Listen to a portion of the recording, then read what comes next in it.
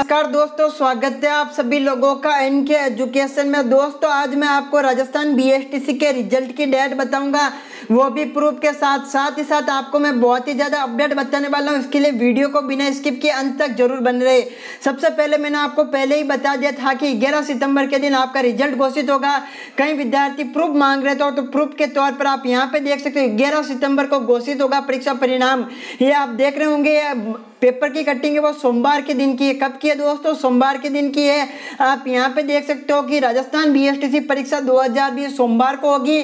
प्रदेश के तीन हज़ार छह सौ छप्पन केंद्रों पर होने वाली परीक्षा में छह लाख उनसत्तर हज़ार छह सौ तेरह अभ्यर्थी शामिल होंगे। लेकिन आप यहाँ पे देख सकते हो रिज़ल्ट की डेट है, वो ग्यारह सितंबर शिक्षा विभाग ने बताई है। तो आपका रिज़ल्ट है, वो ग्यारह सितंबर के दिन जारी होगा। अब दूसरी बात कर लेते हैं कि आपकी कट ऑफ़ क्या कुछ रहने वाली है, वो मैं आपको फैक्ट कट ऑफ़ बता दूँगा। अलग अलग कैटेगरी वाइज ताकि आपके दिमाग में कोई भी डाउट नहीं रहे। और उसके बाद में विद्यार्थी अभी तक ये भी नहीं समझ रहे कि काउंसलिंग क्या होती है। काउंसलिंग में भाग कैसे लिया जाता है? मैं मॉर्निंग से यूट्यूब पे देख रहा हूँ, कुछ लोगों को कुछ पता भी नहीं है, वो भी काउंसलिंग के बारे में बता रहे विद्यार्थियों को गुमराह मत करो यार, मेरे भाइयों को यूट्यूबर अगर मुझे सुन रहा है तो। विद्यार्थी को जो चीज़ आपको पता है भाई बताओ, बाकी की एक्स्ट्रा मत बताओ। दोस्तों, मैं आपको पहले कट ऑफ़ की तरफ़ ले चलता हूँ। मैं आपको हर वीडियो के अंदर वही कट ऑफ़ बताता हूँ जो एकदम फैक्टिंग फैक्टिंग होगी।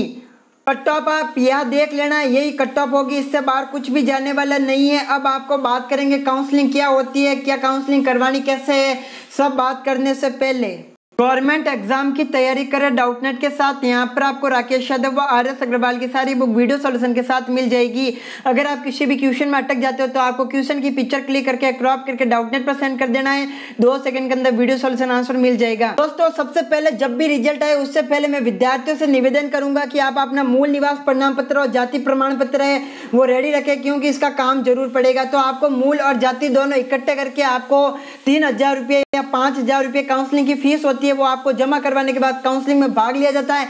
एक से लेकर चार लिस्ट तक काउंसलिंग की निकाली जाती है। कॉलेज के हिसाब से कुछ कॉलेज की कट ऑफ़ हाई रहती है, कुछ कॉलेज की कम रहती है, वो सब उसके ऊपर है।